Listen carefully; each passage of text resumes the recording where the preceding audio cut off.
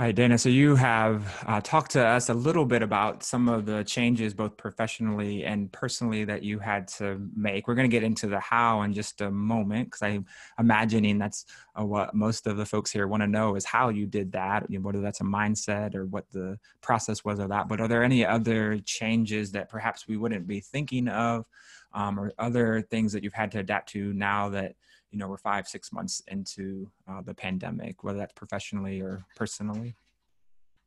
I think professionally i think the biggest thing is really um, keeping an eye out for my for my colleagues you know for my staff. Um, we need those people to be able to come to work. I mean it's crucial. I cannot run my office and see patients without help I need my front office, I need my back office. And so if um, my staff is not able to be safe, then really it makes it almost impossible for me to see patients, which, you know, that could take out, you know, just for our small office. If you think about larger offices where there's multiple docs, we have two docs and two nurse practitioners. That could take out easily, you know, 60 to 70 patients a day that we're unable to see. So that's why I think it's just crucial um, for people to do something so simple as wear a mask when you're out in public, you know, not do large gatherings. So COVID really has, you know, changed um, changed just the way we do just about everything. I mean, you know, there were times I would get out of my car and start heading into the hospital. I'm like, oh my goodness, I forgot my mask and have to go back to the car. And for me, it's also thinking a little bit further down the road. It's not just a mask, you know, I have to have an N95 with me at all times too, because of the possibility of, you know, a potential, you know, patient under investigation or a COVID patient. Um, most of the patients we're encountering now are presenting asymptomatically. So, you know, that's now another level. Before it seemed like patients had symptoms so you could kind of identify, oh, this patient has chest pain or shortness of breath or a fever. But now we're seeing more and more patients who are asymptomatic, which, you know, I think we let our laurels down and we tend to get a little careless um, with how to protect ourselves. Um, so those are the things. It's it's just a really big paradigm shift in thinking about protection. I do think somewhat it's good because um, doctors, healthcare professionals tend to get a little bit lazy when we are doing um, deliveries, um, specifically, not so much when we're in the operating room, but we tend to get a little lazy. We may not, you know, always have our eye protection on. We run in to do a delivery. So now we're definitely um, watching out for each other. And if I forget to get my face shield, the nurse will run and get it for me. So we really kind of bonded a lot better. For me personally, um, this has been a little bit of a challenge too because my mother has dementia and she um, is in a memory care uh, uh, facility. And I'm used to seeing my mom pretty much almost daily, if not every other day and talking to her, you know, three to four times a day to just check on her, what her needs are, and being dependent on other people to meet her needs and to care for her um, has really been probably the hardest part of all of this. Not even so much my job, but just the care of my mom. Yeah, absolutely that's key that that caring for other folks. I mean obviously we have to care for ourselves but how do we care for others whether they're our loved ones or people that uh, we work with or that we supervise? This didn't make it into the sermon this morning uh, but part of the adapting to change i joked with our staff uh, on tuesday was you know we went through collectively as a staff not all together at the same time but went through um, the grieving process where there were definitely folks that on our staff like nope we'll be back april. We're good to go. Easter here we go um, or bargaining or anger even. And so um, and and then that idea of like okay we're five or six months into it it is easy even from our side to you know kind of take for granted this is our new normal. This is what we're doing but and, and to get a little lax. And so trying to figure out how to make sure that we continue to care for ourselves and to definitely care for our loved ones so let's let's try to tackle the how question, which I think is hard, right? It's easy at one level to tell us um, and to talk about what has changed. But how do we actually? How have you been able uh, to adapt to these changes? How can you look back? Are there any um, tools or resources that you would give us, whether that's our mindset or our faith or just the practicality? How have you been able uh, to do that yourself?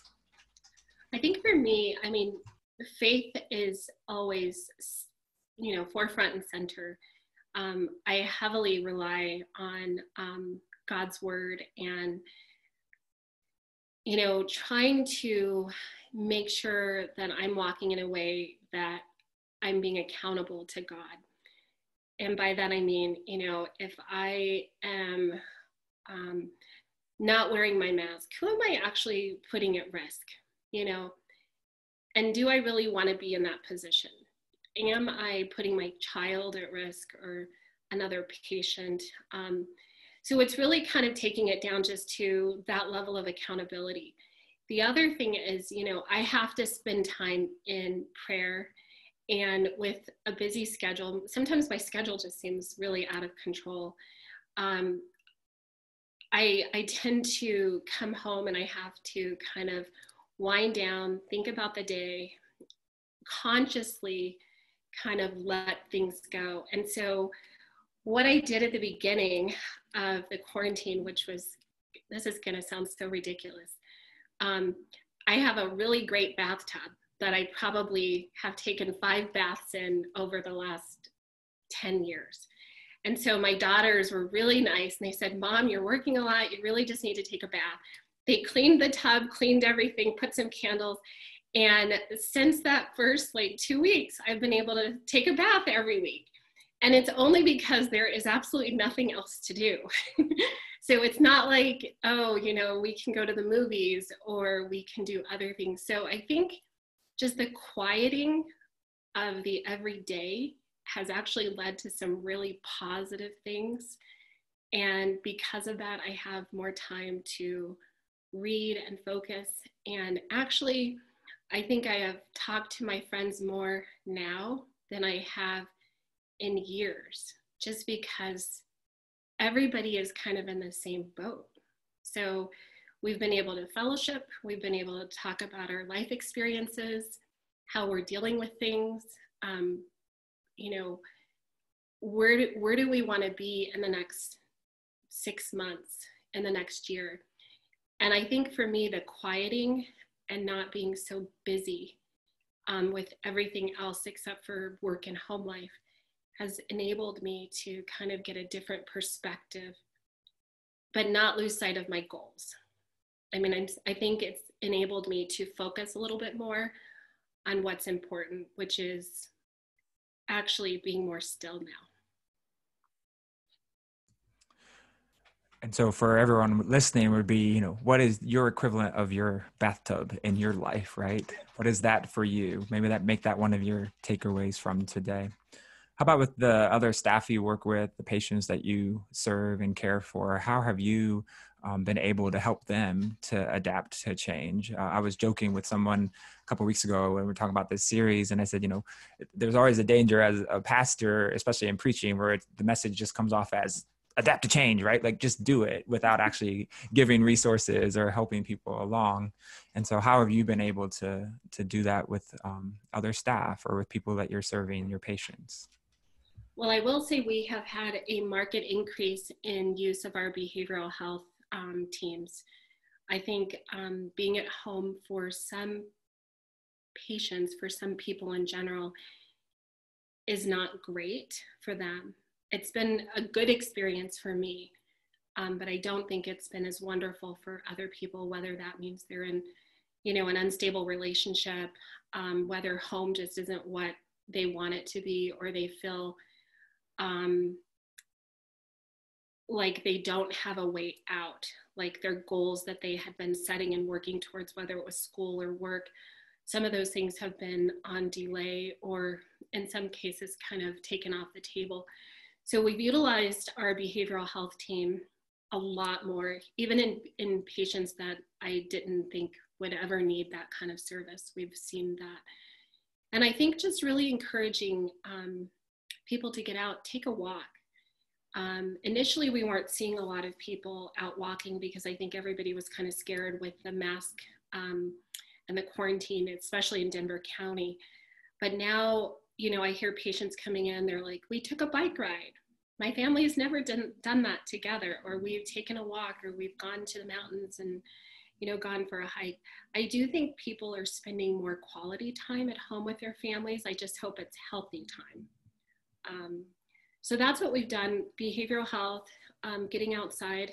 Um, we've had an uncanny and wonderful springtime. I don't know if you guys remember, but I remember sitting outside in February and March, um, and the weather was absolutely beautiful, which seemed a little odd here in Colorado. Um, so I think those are kind of the big things. I do find too that we've seen um, patients are describing that they're actually cooking and they're actually eating better, which is amazing. You know, um, they're not going out to fast food restaurants as much.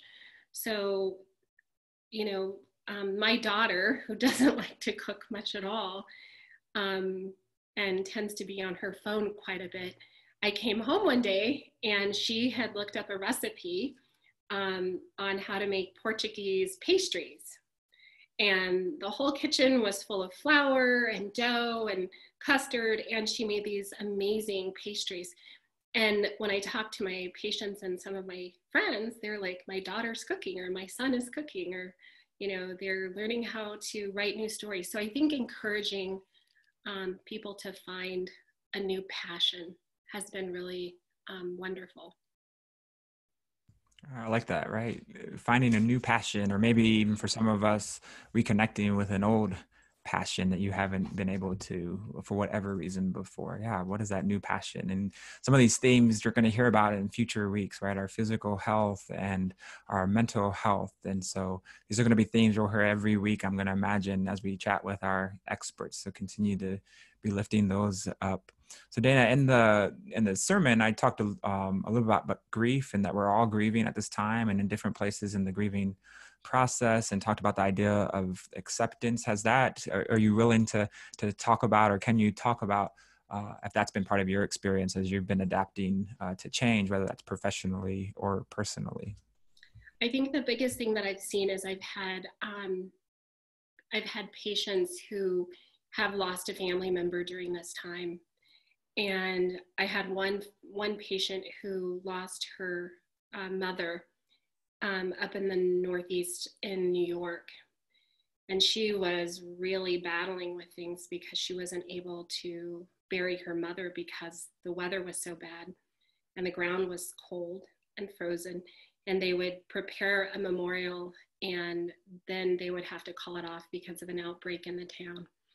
And so this went on a couple of times, and she finally was able to get her mom uh, memorialized and that was very challenging for her. Um, I think the grief is definitely different because you're not able to, you know, we're not able to grieve in the traditional way. And um, I think just encouraging patients to, and people in general, just to um, do what they think is best for them. I'm a big believer that you know, part of our physical health and getting your annual exam, whether you're a man or a woman, should also include a mental health checkup. Um, that's not always the case. I think your mental health um, is equally, if not more important, because it it guides you and leads you in how you care for yourself physically, also. And our society is just so busy.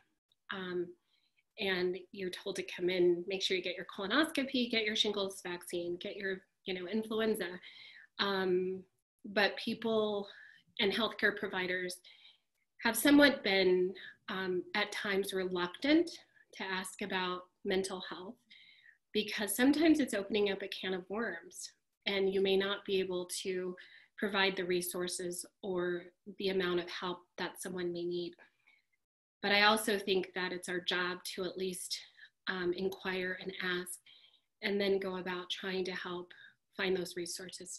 So, grief has been very difficult for a lot of families during this time.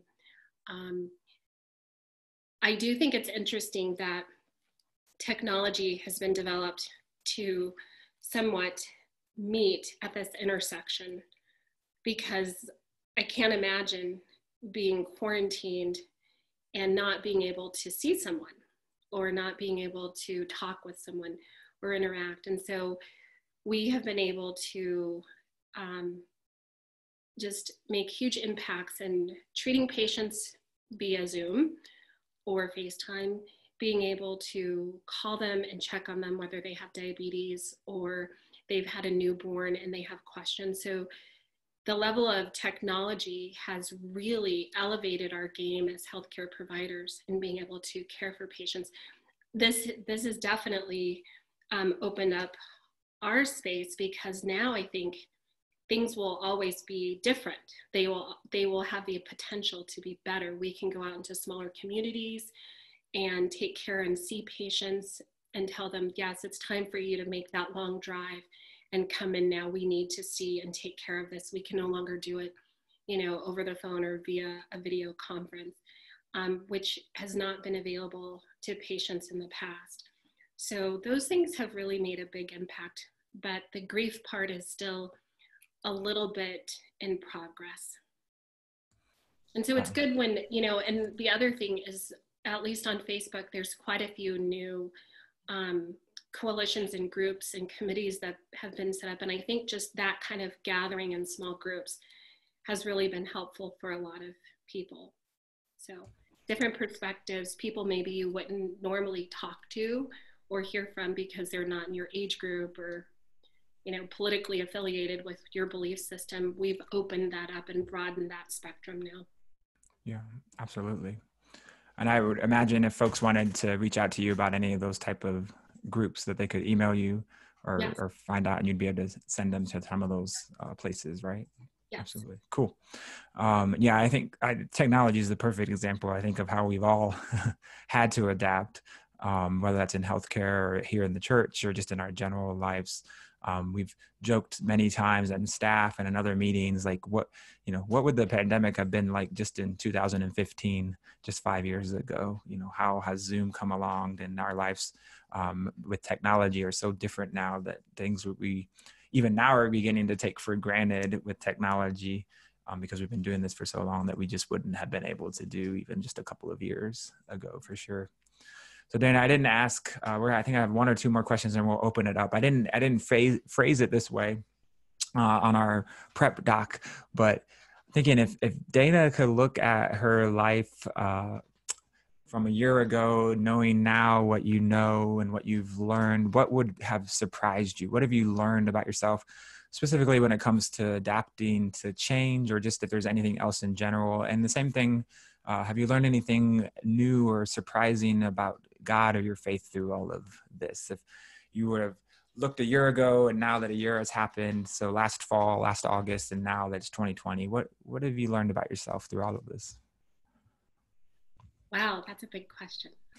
no pressure. I think um, I think sometimes people in general, when they are not in a certain situation, they become disconnected from that situation.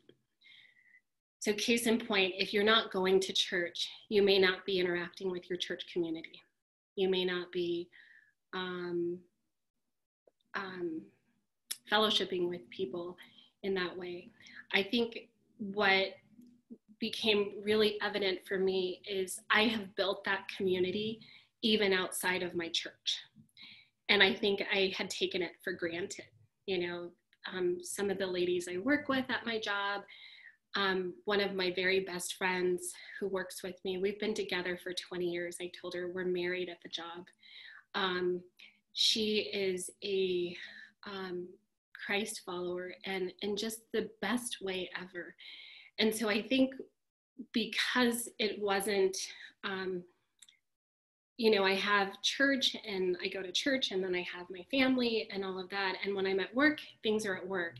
And with small gestures and, you know, a small conversation here and there, you tend to know, um, you tend, you think you know the people that you're with. But I think during this time, because we've had so much more time together. Um, and just the struggles that all of this has brought out, I've gotten to know my friends in a much deeper way. And um, I shouldn't say I'm surprised, but maybe a little bit with how deep their faith is. And just the fact that I've been able to surround myself by such um, deeply spiritual p- people, which really has been a blessing to me. Um, so that probably was um, a little bit of a surprise. I think the other thing that has just surprised me beyond belief is how well my children have done with this quarantine.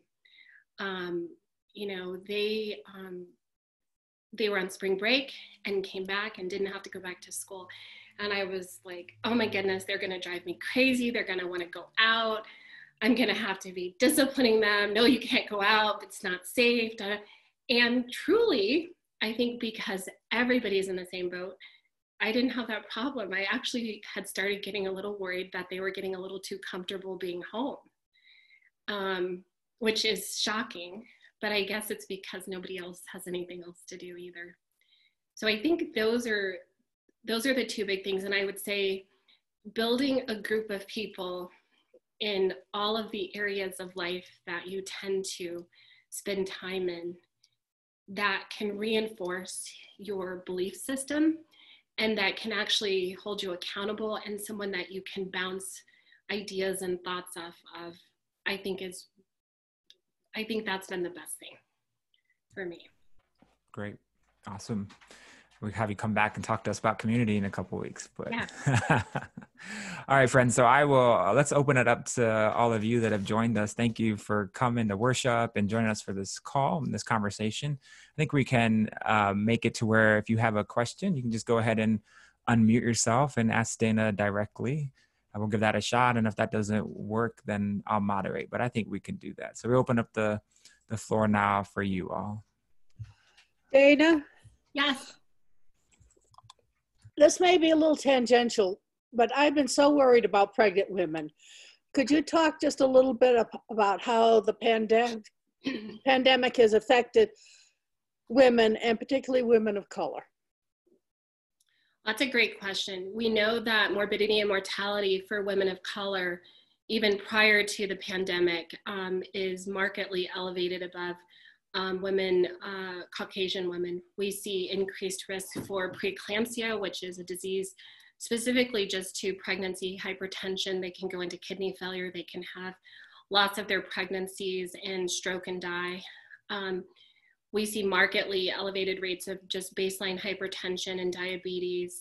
Um, so all of those things um, had not changed, but because of access to care, which has been hindered somewhat during um, the pandemic, um, has made it a little bit harder. So our office um, changed uh, plight and we stopped carrying, I shouldn't say stopped carrying, but we basically put a halt to all non-urgent GYN patients and we're just strictly seeing our OB patients so they would be able to come in and get seen. Women of color um, we know die at three to four times higher rate pregnant women, um, primarily from preeclampsia, which is the hypertensive disease, um, longstanding or new onset hypertension, and from hemorrhage. So hemorrhage is still one of the largest issues. Um, I know you guys remember maybe hearing about uh, Serena during her pregnancy, and she had already had a prior history of pulmonary emboli in her lungs um, prior to getting pregnant with some of her surgeries for her sports. And then when she was pregnant, she actually basically had made a self diagnosis and had trouble getting the healthcare professionals who were even caring for her to pay attention. So, women of color, I think part of it is access to care. Part of it is actually getting someone to pay attention to their symptoms.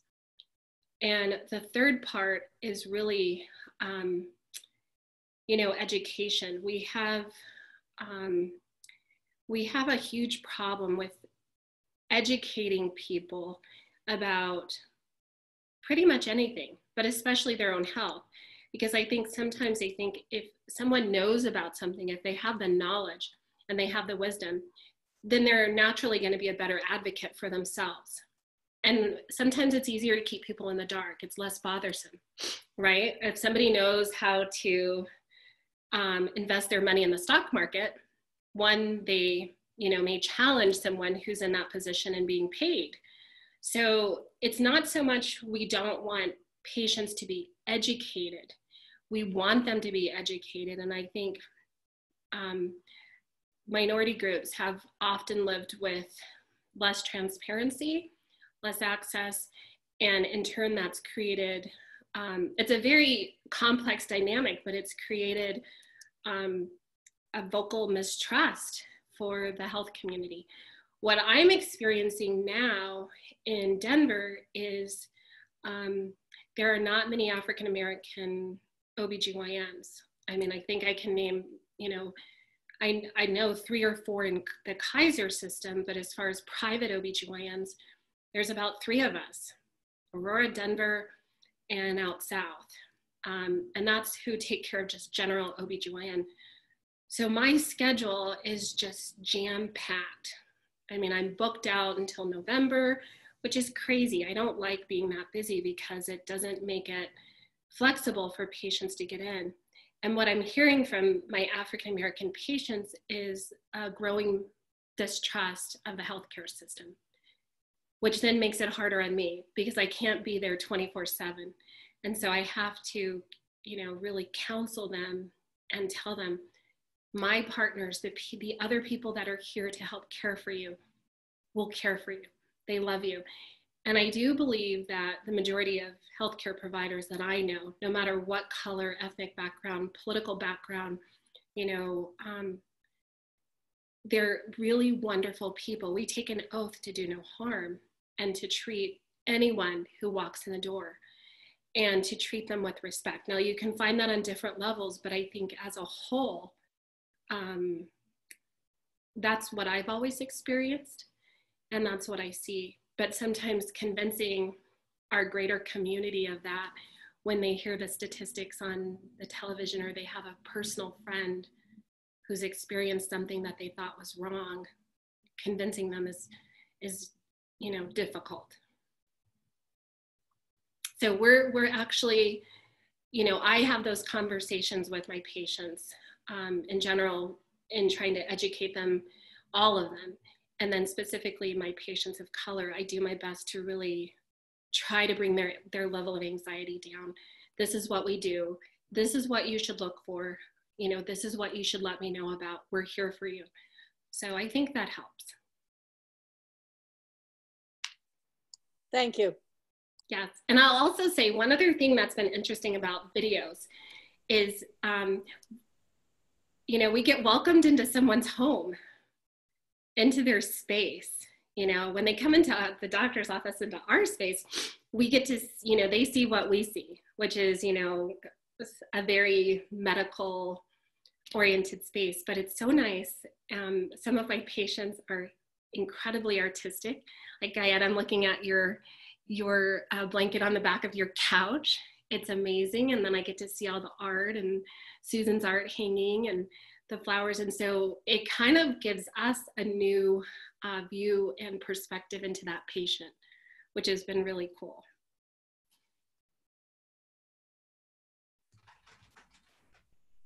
Great. Are there other questions for Dana? Yeah, Ruthann. Hi, Dana. Hi, Ruthann. I've been wondering and I've been concerned about the increased incidence of COVID among people of color. Have you got any ideas what we as a church, a mission committee, could do to help provide or uh, advocate for health care for people of color? That's a great question. I think um, number one, it's education. I think the biggest um, issues are. I think I think you know specifically with COVID, it's just got to be plain and simple um, messaging and information and that's for everyone across the board a consistent message of you know we could actually get control of this virus if everybody did what they were supposed to. I think that's why our numbers in Colorado have been markedly better, not just because we have a healthier state in general, but because you know our mayor and our governor really took it serious at the very beginning. I think now I see people walking around a little lax, and I think as healthcare professionals, we're we're okay if you're out taking a walk and you have your mask with you and there's nobody around and you pull it down. I don't think anyone's going to argue with that. But when you get around people, pull your mask up. I think if we could do that, it would be it would just make a huge difference. Testing, I know there are new CDC guidelines that just came out. Um, I and some of my frontline workers, we still believe that you know if you're if you're wondering, if you're concerned, and definitely if you have symptoms, you should be tested. We do have the capability now of doing the SARS CoV 19 IgG and IgM for antibody testing. Um, the sensitivity now is in the 90 percentile for some of the tests. The NAAT testing is quite sensitive, and that's the one that most of them are recommending that you get now. So, National Jewish, the University of Colorado, and SCL, our healthcare system, we have that testing available. So, those are the big things um, when when this first came out, because we weren't getting a lot of guidance nationally, um, physicians were very very um, in tune with what goes on. Facebook, good or bad, has provided an outlet and a way for us to communicate. So in the very beginning, in February, when this was primarily in Washington State, I was on a bunch of um, OBGYN COVID sites and then just general sites, we would get downloaded information, how they were taking care of patients in ICUs, what they were doing, what was working, what was not working, because the data just wasn't there at that point. We were tag teamed into um, video conferencing, some of them that were interacting with China, how they were caring for patients. And so there, we were just like in a, in a situation like this, we were just kind of in the background listening to some of the um, conferences that they were talking about what they were doing and what was working and what was not working. And um, that was amazing because our ICUs, because we didn't have protocols, a lot of it was going on. This is what they're doing in Washington State. It's not working. This is what we're going to do here until we started getting more and more information.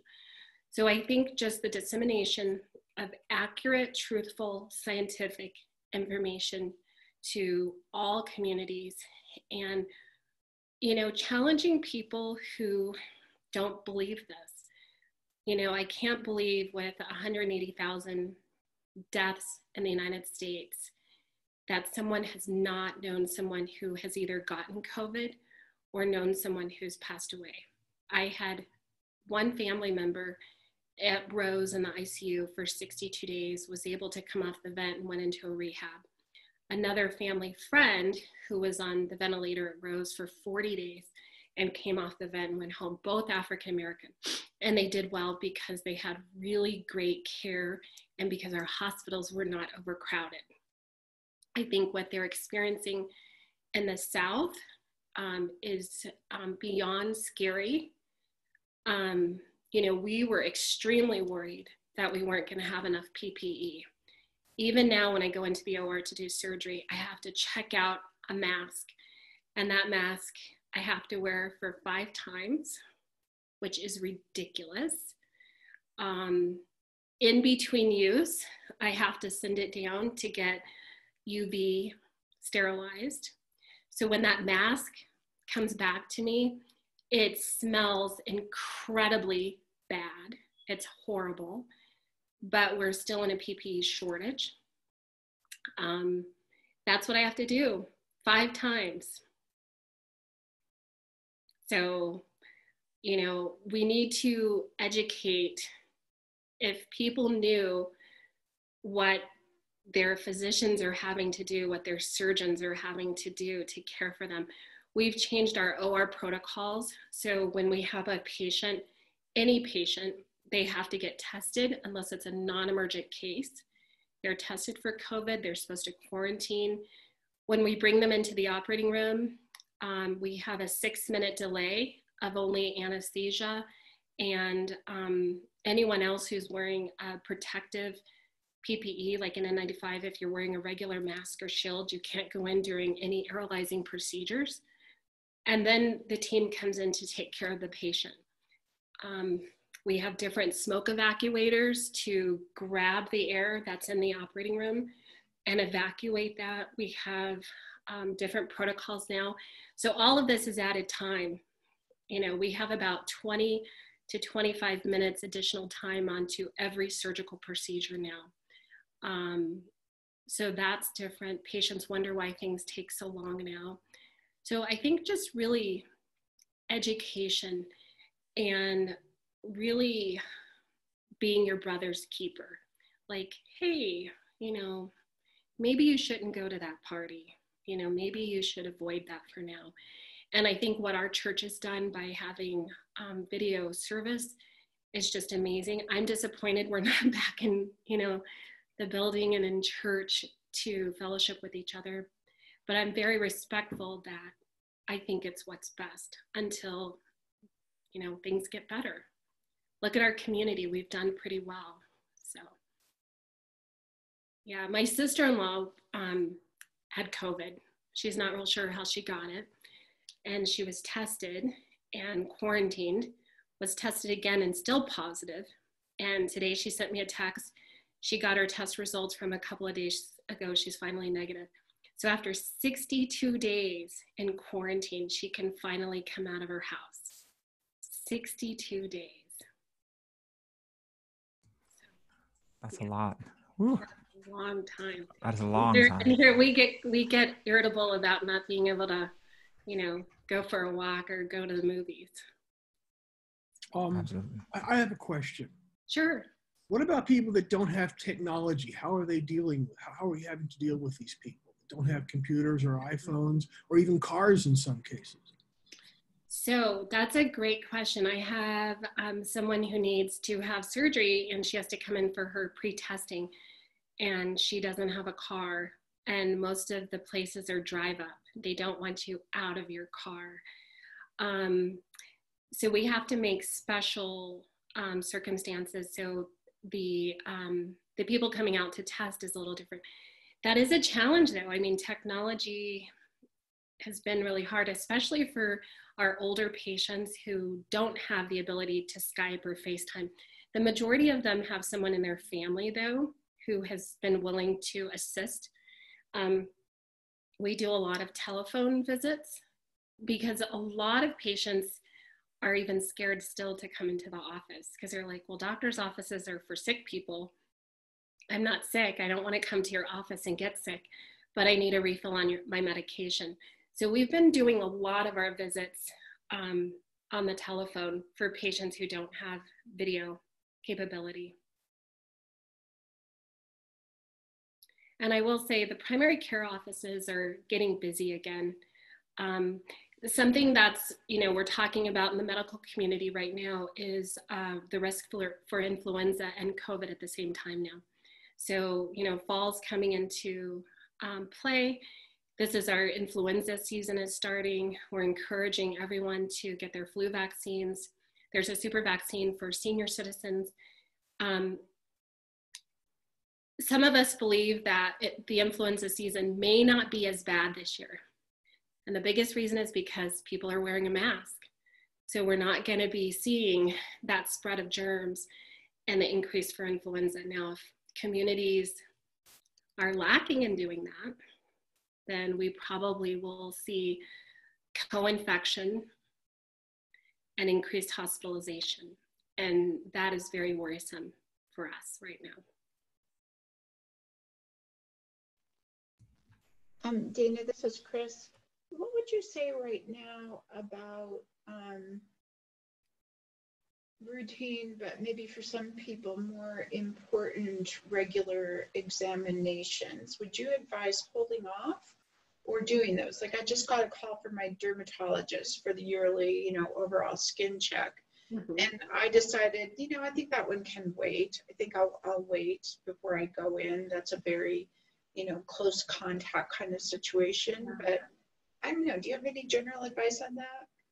I would say, in general, right now, especially in our state where our rates are at least lower right now, I do think it's um, a safer time period to go in right now and get your annual exams. So if you're needing your medications, you're needing um, a colonoscopy because you've been putting it off for a while, um, and definitely if you had to, um, you know, postpone or cancel back in the springtime when all of this was extremely active and we didn't have these procedures in place at the hospitals. Um, I think now is kind of an optimal time. We're kind of in this bubble right now where it's as probably as safe it's gonna as it's gonna get until we get a vaccine that we know is reliable and effective. So I think right now is actually a good time, and I think most providers are really doing their best to keep their patients safe and them, their staff and themselves safe.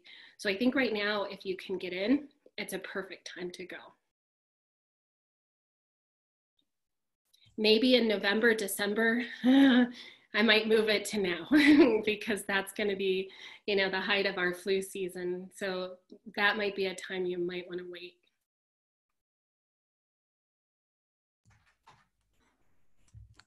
Great. Are there any other uh, questions for Dana? All right, I'm scrolling between our screens, making sure that if anybody's trying to get a word in, that I'm not missing you. All righty, I don't see anybody raising a hand or trying to get in. Um, I did want to share, I put over in the chat box um, a website for the Center for African American Health, which is a local nonprofit uh, that um, obviously deals with and does lots of education and lot, doing lots of webinars uh, specifically aimed towards African Americans and community of colors. I'm a board member. Riley Daniel was the one that recruited me onto that board. Um, and so that's a local group here doing lots of good work. So check that out. CAAhealth.org uh, is a great resource. I think uh, Dana, what you said, simply even just you know encouraging one another, holding each other accountable. I love your example of do you really want to go to that party? Do you really need to be doing that? Um, that you know being willing for us to do that with and for one another. Um, I've been part of those conversations where I know some of you have. Um, challenged parents and children and others like do you really need to go to that store that again um and so that i think you know how do we help one another when we talk about community and the work that we're doing so i'm seeing comments coming in here just making sure you got lots of appreciation coming through dana from folks that are on the call just saying thank you and appreciate uh, you taking the time uh, to be with us and to share with us i'll give one more opportunity for anyone else who might have a final question and I'm not seeing that. So would you either give a thumbs up or clap uh, while you're muted to thank Dana for coming to be with us? Um, this is a Keeping the Faith Through COVID 19 series, and so we're excited to have her here with us. Next week, uh, Martha Teater, who's on the call with us today, will be joining us for this conversation. She's a licensed uh, therapist, and so we'll be talking about worry and anxiety next week in service, and then going deeper into that conversation next week after worship service. So this is a church event, so I'm going to close this in a word of prayer and then wish you all well, that you have a great Sunday and a good week, and hopefully we'll see you soon in some capacity. Let's be in an attitude of prayer, friends. Oh, gracious and most holy God, we give you thanks for Dana and for all of the experts that will be joining us. We thank you for her work in our community with women specifically and, and even particularly with women of color. Continue to surround her, oh God, with your protection and encouragement as she continues uh, to adapt to the changes that she's seen every day professionally and personally. May she continue to be surrounded by those great community of friends and spiritual partners that you have surrounded her with. May she lean on them and on her faith. And may we do the same, oh God. May we continue to know that you are present with us, that no matter what changes we are all going through, that you're here with us and that we have one another. We ask that you continue to be with us, oh God, as we end this call into whatever it is that we might be up to the rest of the day and into this week. We give you thanks, oh God, for loving us. We give you thanks, oh God, for the people that make up Park Hill, that are our community, that are beyond even who might be on this call or worshiped with us. Thank you, God. It's in your son's name, Jesus, we offer this prayer together. And all God's people said, Amen. Thank you, everybody. Have Thank a great you. day, everyone. Thank you all.